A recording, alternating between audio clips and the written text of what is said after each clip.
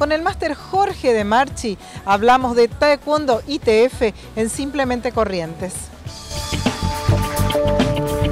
Bueno, este fin de semana me ocupé de reunirme con diferentes personas que van a trabajar, ya están trabajando con vista a la organización del Mundial 2017 en Corrientes.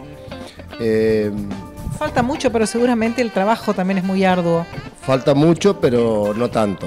Dos años pasan muy rápido y obviamente que son muchos los aspectos que hay que tener en cuenta, entonces vamos a formar distintos comités que se van a ocupar de la organización del torneo. Uno de ellos va a ser la parte de hotelería, eh, alojamientos y también el traslado de los competidores desde los hoteles al club de regatas y también ahí está previsto eh, paquetes turísticos para aquellos eh, competidores que vengan y que quieran visitar, por ejemplo, los esteros liberal, las cataratas del Iguazú, los lugares de pesca de Paso la Patria y todos esos lugares naturales que tenemos cerca de Corrientes. Esto ya tiene fecha cierta.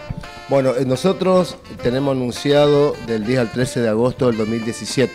Estamos viendo bien porque queremos que coincida en una fecha acorde con las vacaciones de Europa, porque mayoritariamente son los países de Europa los que van a venir, entonces tenemos que facilitarles de que sea eh, en sus vacaciones para que no tengan problema de traslado y puedan estar el mayor tiempo posible eh, en Argentina. ¿Se esperan cuántos competidores aproximadamente? Bueno, en realidad eh, vamos a andar en un promedio de 800 mil competidores, que es lo que generalmente convoca un campeonato mundial. Ahora en Inglaterra, entre las categorías de Danes y GUP, se estuvo en un promedio de 900 competidores más o menos.